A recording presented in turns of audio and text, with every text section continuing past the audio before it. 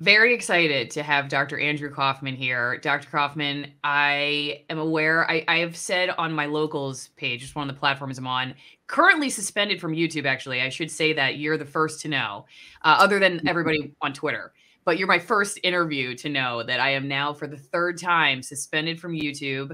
They've reversed the previous two, but this third time, I don't know what's going to happen. And so if you're watching this later on YouTube, you're not seeing it when it actually happened because I can't get into my channel because I'm suspended.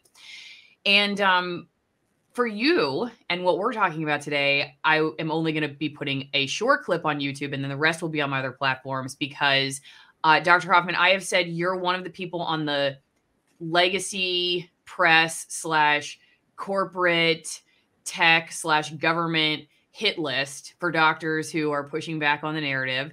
And uh, I've heard you even called a um, reality denier. Uh, well, maybe actually what they called you was a germ theory denier, which we can talk about. But the guy was insinuating that you're just denying reality. So, so, so anyway, it's great to have you. Um, the the thing I would like to start with, though, I know a lot of people start with like your background and everything. I want to do that later. I want to start right off the top with what are the ways you're characterized by big science, big media, um, big government, whatever, that you feel like is inaccurate? What are the the biggest inaccuracies that you would like to get out there uh, about the way you're typecasted that I guess hinders your ability to communicate your message clearly?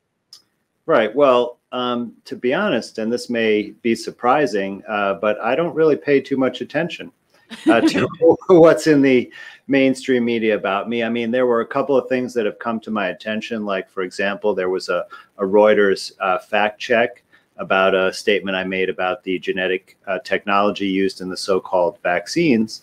And I simply uh, went on an interview uh, with the same journalist who I had originally made the report and uh, showed them how what their fact check was not accurate. And in fact, showed them from their, you know, the establishment's own words that uh, their fact check contradicted, you know, from a Harvard website um, on the technology. So uh, it's nice when I can take that approach if something comes to my attention that might be important.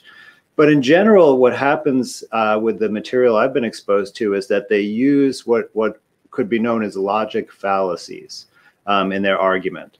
So, in other words, instead of discussing the actual material, which I I have discussed and you know put forth my uh, opinions about, they will pick something unrelated. Like for example, ad hominem attacks are the most kind of common technique, and many people have used this on me, where they just say that oh I'm not a virologist or I'm not qualified. Somebody even said I wasn't even a real doctor, which is pretty easy to verify. So things like that sort of just say, oh, I'm disqualified, so therefore any opinion I have is not valid. But that's not a real argument. And it's the same thing with other things, like someone might point to, uh, in one article, I think that was done by McGill University. And I love the title of this article actually because it's called The Psychiatrist Who Calmly Denies Reality. Okay, that was that's yes. the one I was and remembering. Yes. So it's uh yeah, I mean, I I think uh, I'm I'm happy that I come across as calm. It, it's interesting about denying reality because as a psychiatrist, that's one of the main uh, jobs that you have when you evaluate patients. Like, you know, are they delusional and psychotic, or are they telling you about something uh, true that perhaps you just don't know about or you're misperceived? So um, what they did in that article, for example, is they took a comment that I made about appendicitis, which was outside the mainstream, and they just said, well, he says this about appendicitis, so you can't trust anything he says about germ theory. And but what they didn't do is actually look at any evidence related to appendicitis and say, hey, he's got a valid point. Um, they just kind of because it, it contradicted what people normally know about appendicitis, they just use that. And so that's another type of ad hominem or uh, logic fallacy type of thing. So, you know, I think this is very harmful because one is it trains people to use this kind of false logic to um, take in information and make their own opinion about a topic, but also it just distracts you away from the substance of what I'm really saying And quite frankly, um, Alison, there's really been no one either from the mainstream media or anyone from the establishment scientific community who has been willing to have an honest scientific discussion where we actually just look at the experiments and say what can we learn from these? We disagree. Why do you have this opinion? And and you know this is why i have my opinion.